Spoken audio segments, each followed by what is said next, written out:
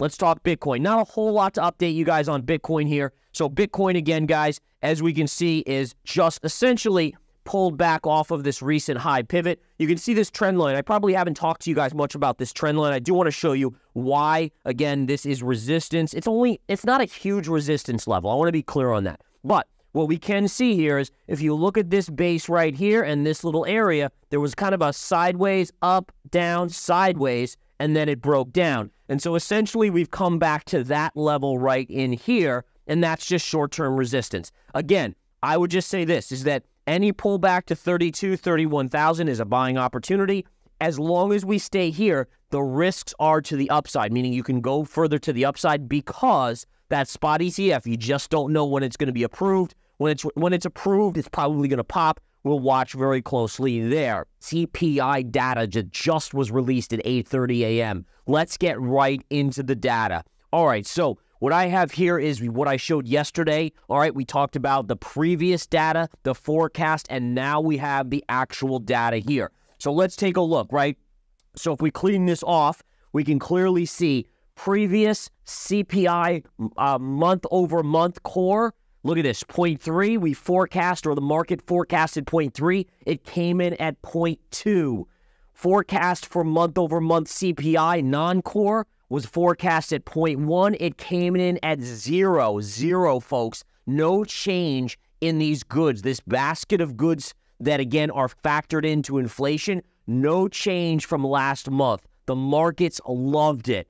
Next, we look at year over year numbers.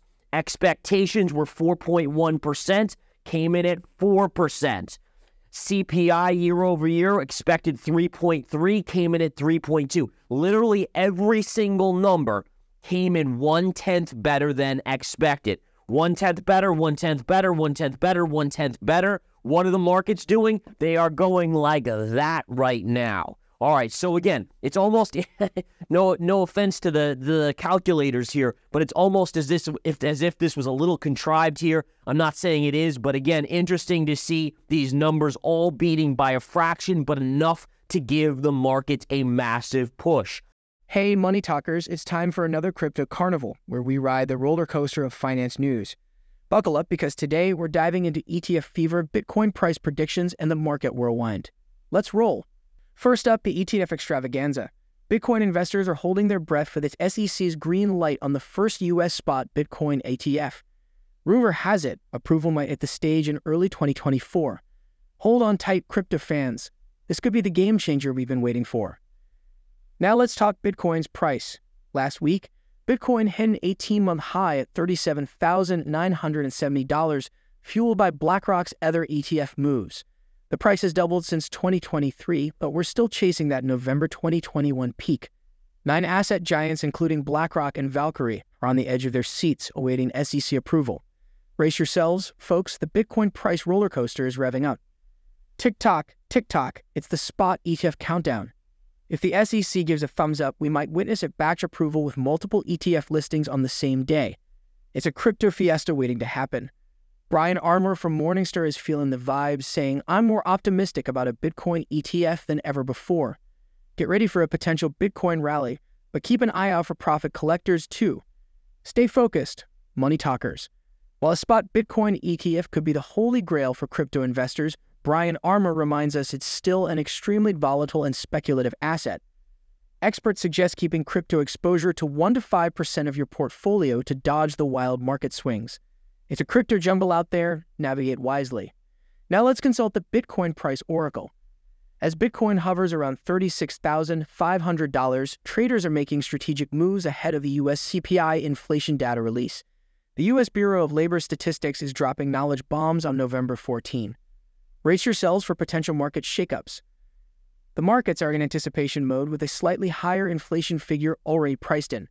The CPI data is the talk of the town, and corporate investors are playing it safe. Bitcoin demand is doing a little dance, and large investors have slowed down their moves. Will Bitcoin ride the wave or hit a rough patch? The crypto crystal ball is glowing. In the final countdown, it's all about the CPI data release.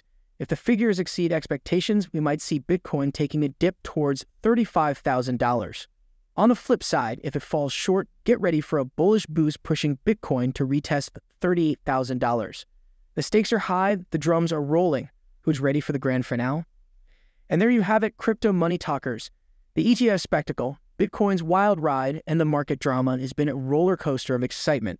Now let's continue our discussion with Gareth. All right, so what we're going to do next, folks, let's take a look here. We're going to get right into the charts and analyze it accordingly. So, what we're going to flip over is to the NASDAQ 100. Look at the move on the NASDAQ 100 here pre market. So, huge move up Initially, yesterday, we basically closed on the markets around 377. We're trading up about $6 on the QQQ. That's a massive move, folks. You're talking close to 2% on the NASDAQ. And again, all the stocks are participating. The big cap, mega cap tech that have already run insane amounts. You have NVIDIA up, Microsoft up, Apple up, Amazon up, all of them across the board. Even Tesla is up this morning. All right, now what do you guys think? So CPI came in lower than expected. So here's a quiz. What do you think we're seeing on the 10 year yield of the dollar? Which direction is the 10 year yield going?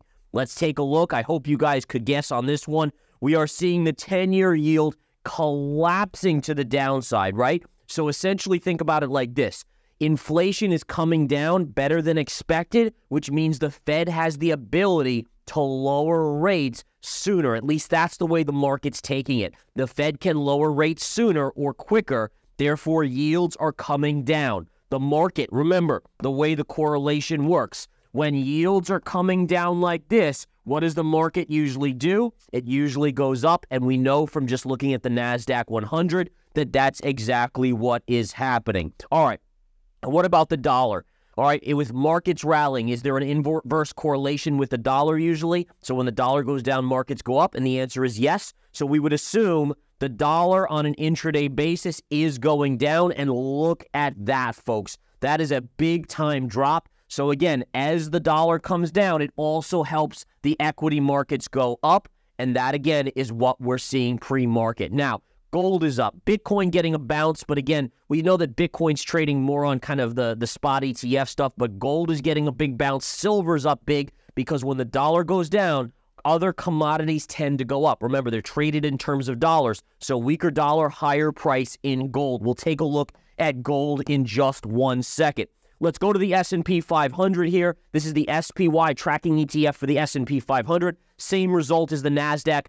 Big, big pop. We are starting to pull back just a shade here, but nonetheless, I mean that is a huge move, folks. About 1.3 to 1.4 percent on the S&P right now, if the markets were to open this second. All right, now what we need to do is we need to look at daily charts. So let's flip back to the dailies. We've looked at the intraday. We know what the market is doing on an intraday pre-market basis. Now we need to start looking and saying, okay, well, if the spiders are now trading, we closed yesterday at 440. If we're now trading at 446, that's up here. Where are the key levels of resistance? Because certainly we are now easily above this downsloping trend line. Now, I will say this. So, this is a level that coming into today we knew was pivotal, right? So, again, pivot high on the spiders to pivot high here. And this is actually adjusted. So, hang on one second. I want to make sure we keep this uh, correct. So let me take away earnings adjusted. There it is. It's it's essentially the same thing, but I always like to keep it without adjusting for the uh, dividends. Excuse me, the dividends.